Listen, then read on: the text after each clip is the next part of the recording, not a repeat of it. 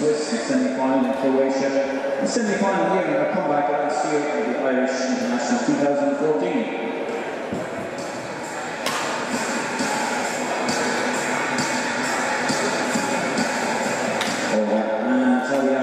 three times this year. The winner two occasions.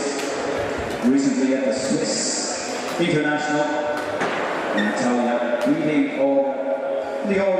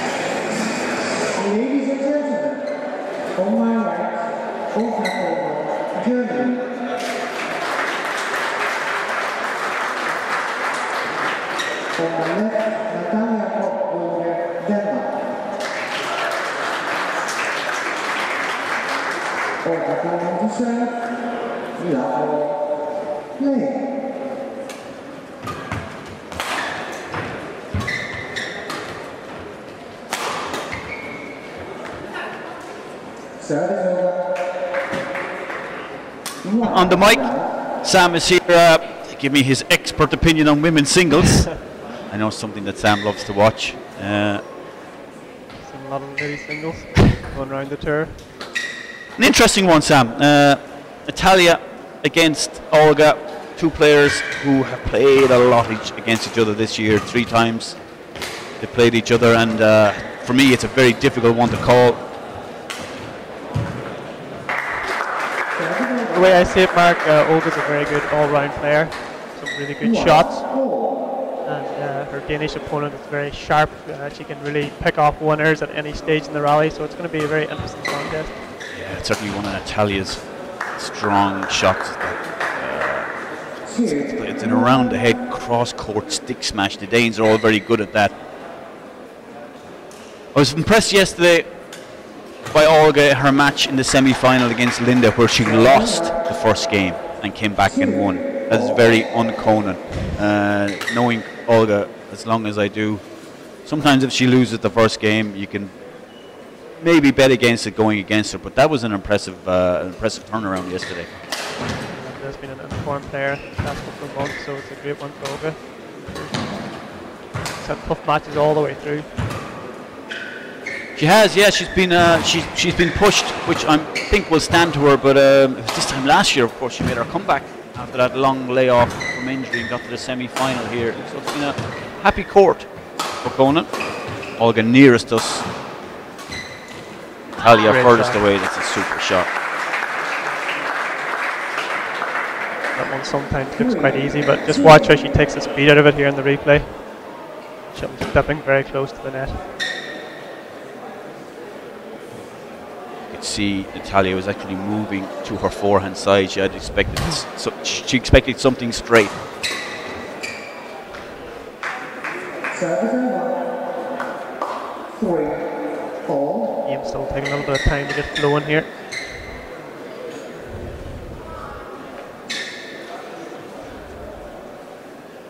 Yeah, these, as I said, they've met each other a few times in the last couple of months, and uh, Olga beat Natalia in their recent encounter at the Swiss International. Olga went to the final on that occasion. The last time that Natalia won was at the Orleans International at the quarter-final, which Koch-Rohde went on to win that tournament. And they're both players who spent who spent this year coming back from injury Yeah. and uh, coming through qualification earlier in the year with zero ranking to now being uh, I think Olga's in 44 in the world and Natalia 62. And one. Four. All. And in terms of Olympic qualification, Mark, how is it looking for these two girls? Well, I think Line Kjærsfeldt has it wrapped up Yeah. in terms of the Danish, uh, from the Danish perspective. Olga has zero interest in the Olympics. Okay. Her interest is in enjoying badminton and being on court and doing what she does with no pressure that comes uh, from an Olympic qualification. We can see how it has affected Karin Schnaase. Of all the players on tour, you know what it's like. you know, the stress that goes along with Olympic qualification. Karin, to me, just seems to be affected by it more. But you can also see Olga not uh, consciously hunting her down, but the ranking gap is closing and Yeah. closing, and uh, every week. Four. But uh, Olympics is certainly not on the radar for Olga. And you can see the last couple of months she's been enjoying her badminton. She's injury free now, and you can see she's starting to get back to you know the old form we remember from Olga from maybe a couple of years ago. last couple of years have just been on and off matches in between injuries.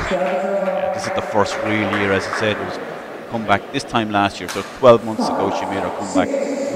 So this has been now 12 months injury free for her, which is just huge. Big landmark. Yeah. She really has been a player in Europe that can definitely take the game to the Asians. And it just needs that block of training, staying injury free. She's got the shot, she's got the game. It's just whether she can uh, keep herself in good shape. Uh, one of three, one of only three players, I think the statistic is, who has beaten uh, Wang Yihan, Wang Shixian, and uh, before her uh, Zhang Zhang Nan. Yeah. Uh, Olga has beaten the three of them, along with uh, Tine Baun and uh, Juliana Schenk. The only other two players in Europe in the 2000s that have done that. That just shows you what her, her top A game is. It really is. Yeah, it's world class when she brings it on the court. I think what she has benefited from also was she, this year and last year she's gone to Indonesia for an eight-week training stint. Yeah. And you could see how, how that benefited her at the beginning of the season. She cruised to two titles. Uh, and if she can get that physical conditioning correct, you know, she's always, I suppose the injury is always in the back of your mind, but uh, if she can get that correct, especially in women's singles, if you can you can last the distance in a three-game match, as well as having uh, the shots that she does, you're on to a winner. That's a good start from the German, of course, formerly uh, Poland and uh, originally from Belarus, the same town in Belarus as Nadia Ziev. Did you know that? I didn't actually No, know. yeah. So they've produced some great players. Yeah, little, Great little, talent. little town. She has to be happy with that start. Taking the shot early, moving it quick. A very, very positive start. It'll be a good thing. There's not really that many long, long rallies from either player. They're both going for the shots. A little bit of all or nothing at the minute. Mm. I think that has to favour Olga right now. 20 seconds. 20 seconds.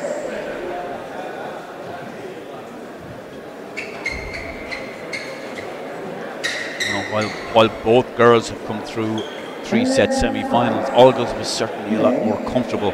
Certainly in the third game against uh, Linda, winning 21-7.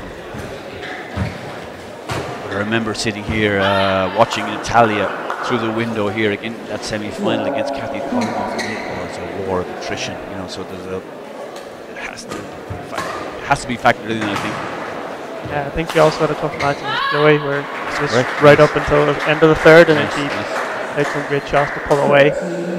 So she's had some tough matches under her belt. Yeah, four matches she's played, and three of them have been three games, including the first round against Xiai Xin Li. Yeah, Chinese Taipei, Yeah. really up and coming player as well. I think that shows the standard of ladies singles this week is probably the strongest discipline when you look at the rankings throughout. Yeah, I was writing my preview. that, You know, if you pick any one of 10, 11 players, who, who could win it? Some of the first rounds were really dangerous matches.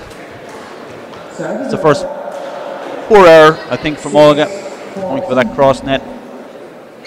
And if it's an area that sh- sometimes she needs to work on, it, it, it's more uh, keeping that concentration, keeping the level up, not switching off.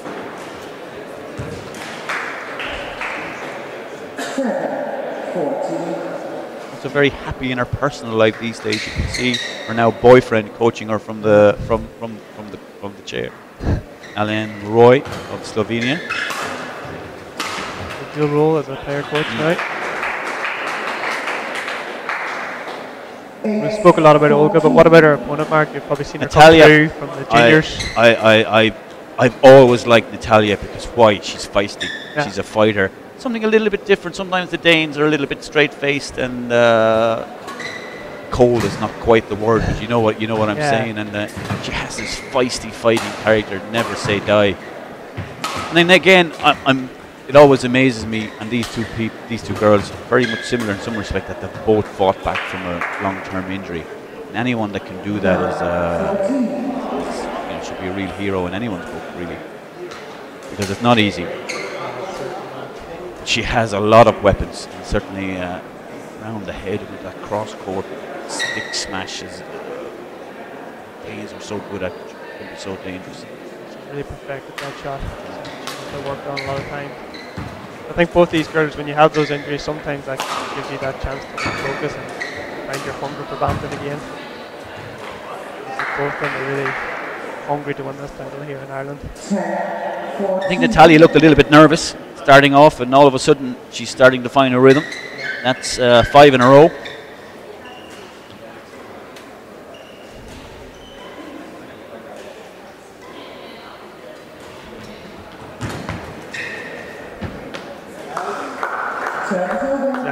Exactly what Olga needed there, just yeah. a cheap point to keep going.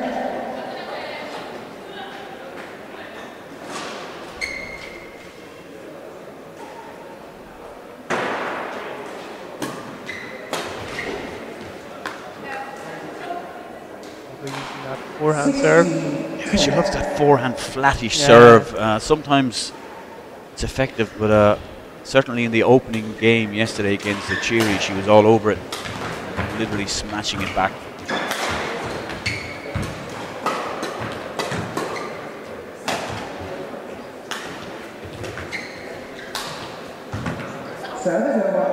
I think it's a very good uh, option, the flat serve. If, if your opponent doesn't read it, then you have them under you know, Yeah, defense straight away. But if they read it, it's dangerous. And so far, you would expect Koch Rohde, because she's so tall, just to pick it off. But the minute, Olga seems to be getting away with it, and she's you know, mixing it up one short, one flick.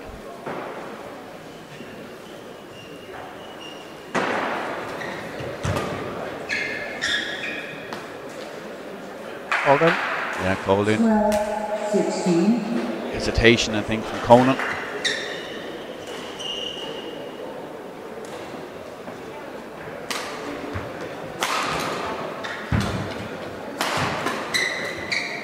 Olga suffering a little bit this week with a cold also. Country to be in if you're from cold. It's been terrible weather all week here at the Irish Open. Smash cross court. This time reading it re- well, Konon. See on the replay here. Long way out. And you can see Olga's really trying to keep the game flat. There's that flat left in the end. Not opening up the court there again. Flat left, flat push.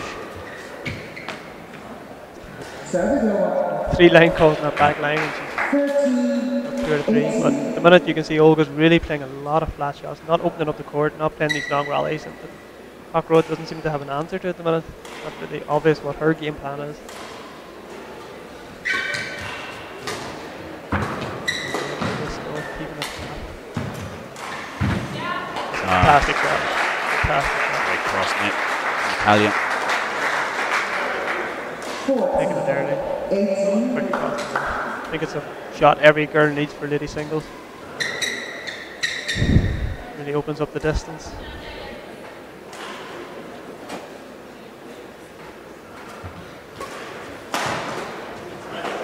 Very dangerous around the head, as I said. 15, 18, I think for Koch Rohde, she needs to be ready for these flat shots now and try and use her reach to pick them off.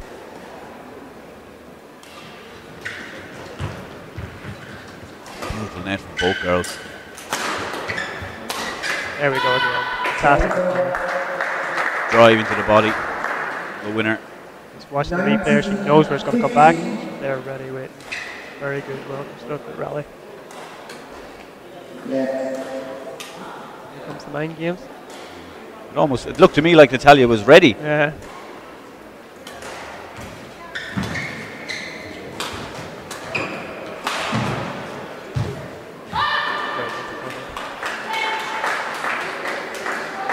Very disappointing. 20, game point, 15, 13 minutes it takes the German to gain point.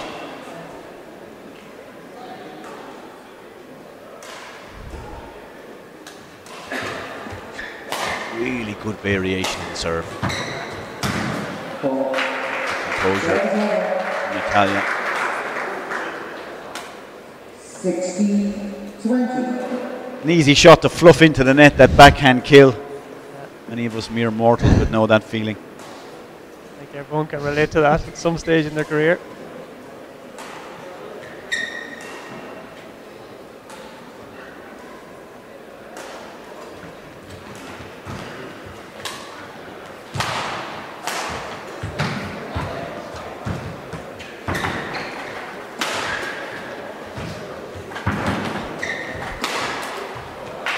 Good rally. Really good rally. Again, some of those points, certainly from a defensive aspect, you know, uh, two, three years ago, you wouldn't have seen Olga fighting for. She's found this new sort of deep down fighting spirit all of a sudden. Same, same as Natalia. You know, when you when you when you've been laid off with injury, you know that every shuttle out there is worth fighting for.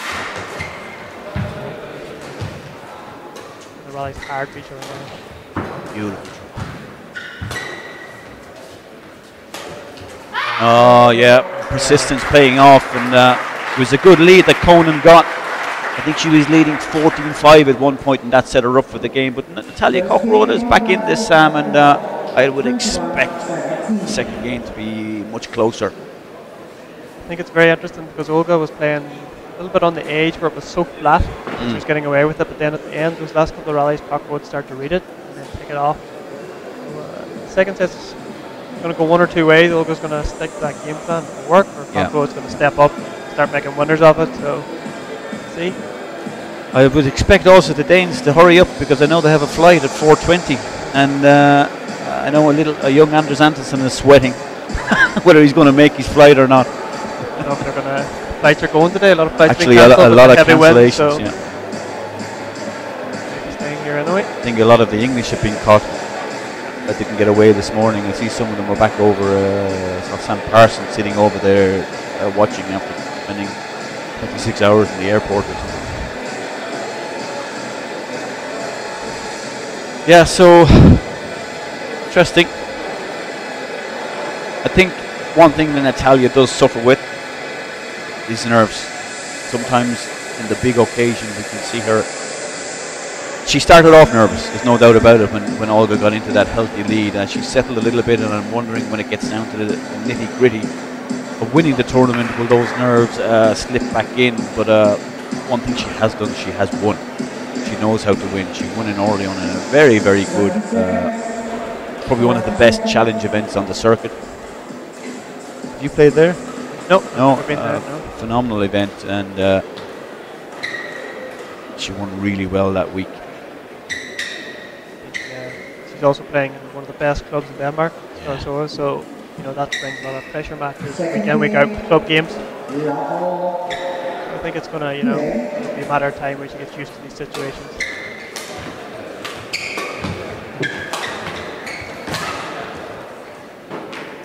Of course, you've got a good competitive group of lady singles coming up now in Denmark. Similar age, pushing each other.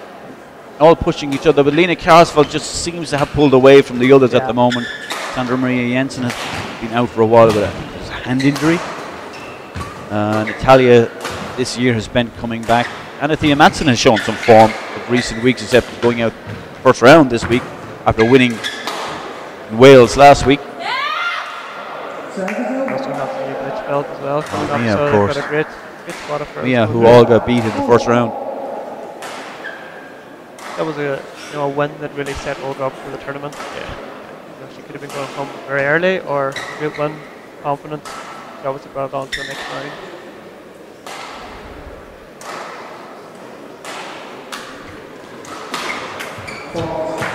Service over. Two, one.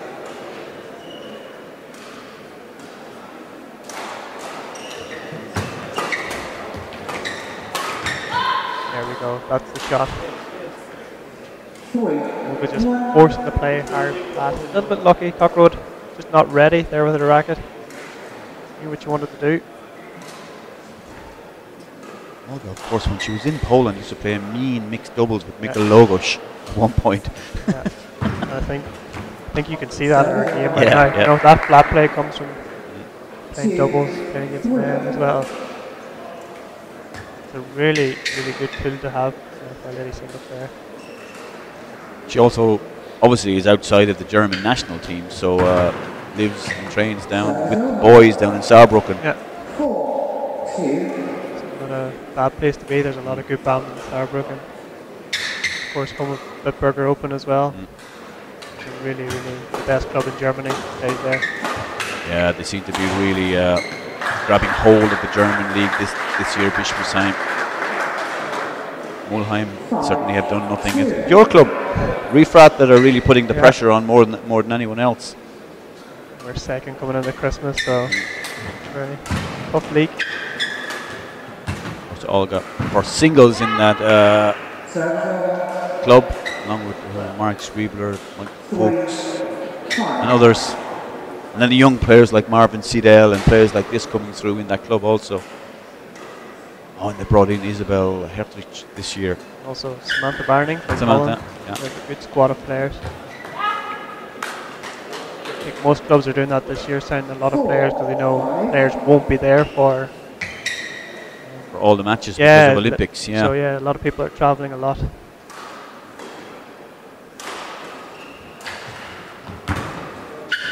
Olga, I believe, has uh, worked with an Indonesian coach. Sure of the name. Yeah, uh, I can't remember his name. He's the one that sort of opened up the avenue to train uh, oh, each summer in Indonesia. I think she's she, look, she's just a player and a personality that didn't fit into a federation style system. Yeah. Sometimes that's how it is in badminton. You have it is an individual sport within a team system. Sometimes these individuals are called in. That was looked like a mile out. Five, six, You see it here in the replay.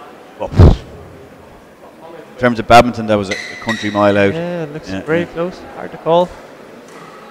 But I think this is a shot that Koch Rohde has to be doing a lot more. Yeah. Really forcing Olga to get take it low. There again, it's good. She's not ready. That's better. She's still stretching for that shot, even though she could take one step, maybe put it on the floor. six, four. Good stretch from Natalia. See it in the replay. Did well to control it. Need a couple of critical points coming up here, even though it's early in the second set. Shot by Olga.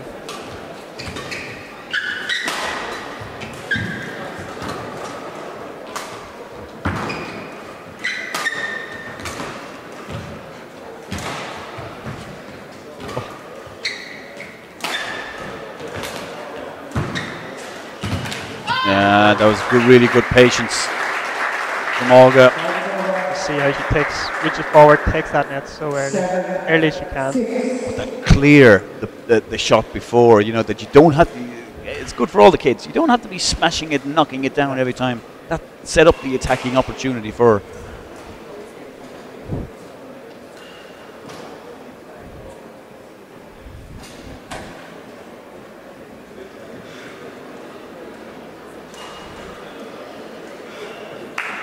Olga, slight advantage here, 7-6.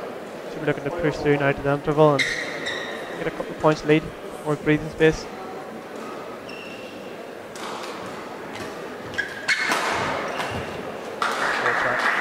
Beautiful smash down the line. As you were saying before, Mark, like Olga doesn't possess the m- the most power for a girl, but her shot accuracy it gives her lots of opportunities to follow up.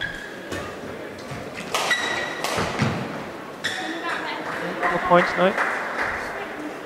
nine, six, So you start to feel it's going to be Olga's. I always feel it. We saw it last year. Olga played in the National Badminton League in, in England, and uh, if there was matches with no breaks and no uh, intervals, I think that would suit Olga much better. It's when you get a break, she has this tendency to switch off uh, because she really hasn't had that discipline throughout her coaching, uh, her, her, her badminton life. You know, going from place to place and finally finding a home in Germany. And uh, that's that's the thing. I think Natalia needs to bear that in mind that there is that distinct possibility that there'll be a point in this game that Olga could just switch off for a couple of games and she gets a lead and things like that. Do you think, Mark, that's from you know years of not having a coach at the breaks, where she has to you know take control of her own thoughts, or why do you think that is?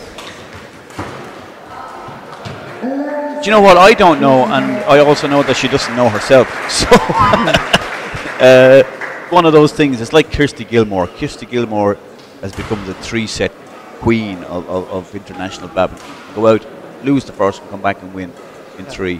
Why? Because whatever preparation it may be for the match, or whatever it's lacking concentration-wise in an opening game, 80% of the time she has this uh, knack of losing an opening game and doesn't get into it.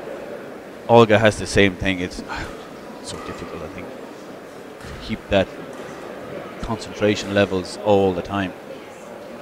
I think it's worked well this week for her. Uh, Bob Blair was with her for a few matches. Now, Alain is there, uh, singles player in his own right. Uh, someone she, she trusts, obviously.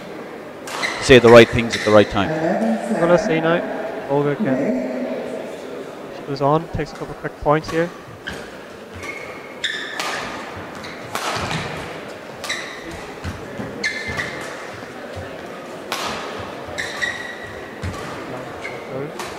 Patience, Natalia.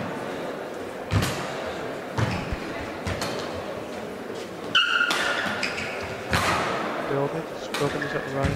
Needs to be more control. Oh, fantastic. Cross net winner. But a good rally from both girls, really. Top class. That's, been, that's a crucial rally.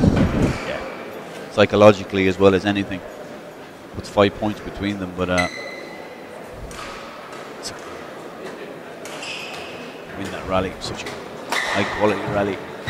Psychologically huge. Great net from Natalia. Has to be out. Yeah.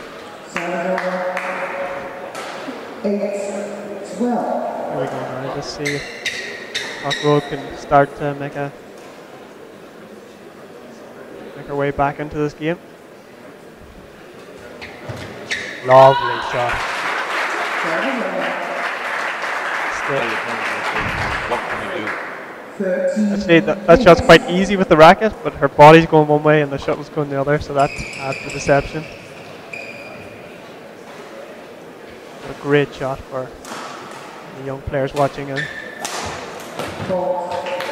we go, there's that flat serve. Finally, you have to say Koch Rohde's starting to read it.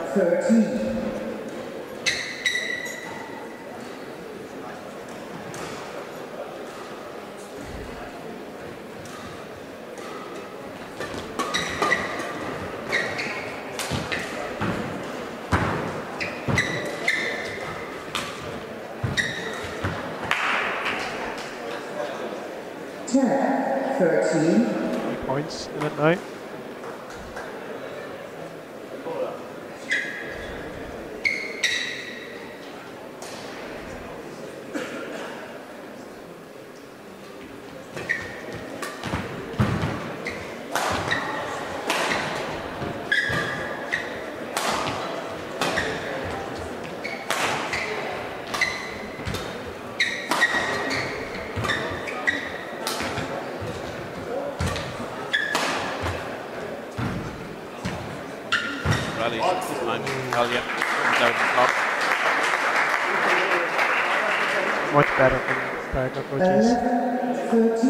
Comfortable that rally playing it round. That makes a really big difference. It's good to see Olga. She's still being aggressive in her stroke, keeping the tempo high.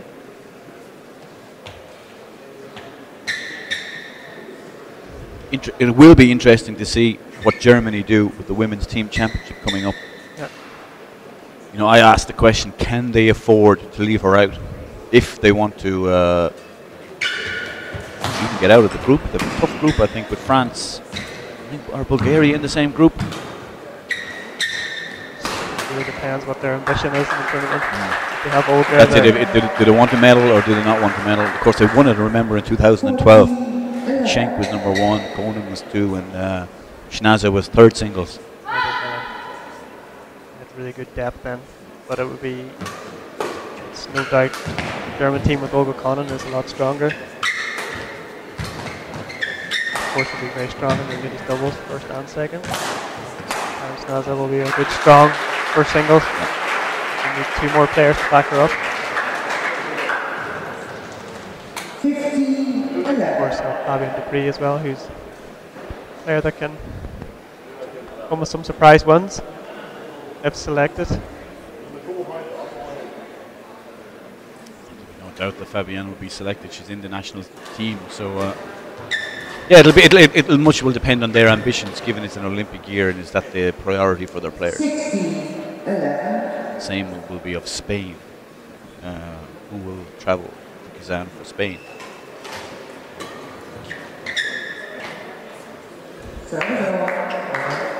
Olga's done that a few times this week. 12, Actually, a lot of players have done that that a few times this week. Just a misjudgment, the baseline here, in the confined spaces of uh, the Baldoyle badminton centre.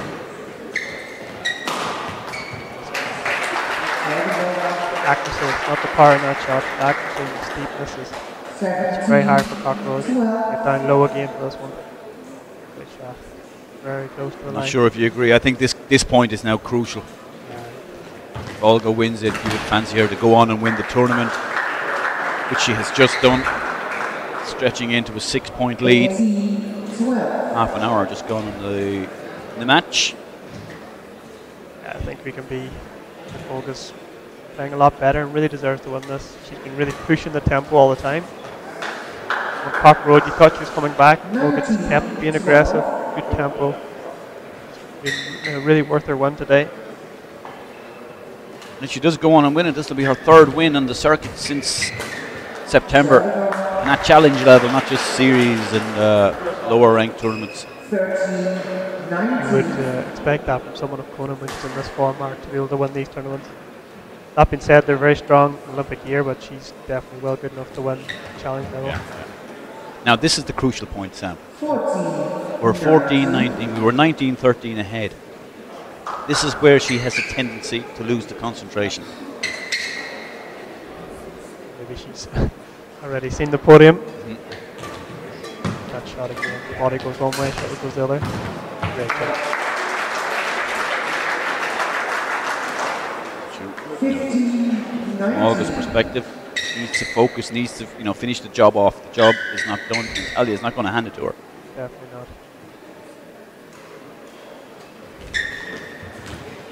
Beautiful net, both players. Oh, there's a mistake from Natalia. 20, match point. Match point. Germany's Olga Konon. Exactly what Olga needed, just a mistake in the net. Three point. Oh, brave.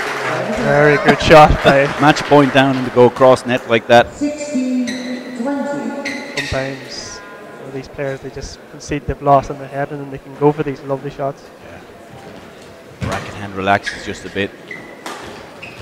If it comes to 19, can she still do it then?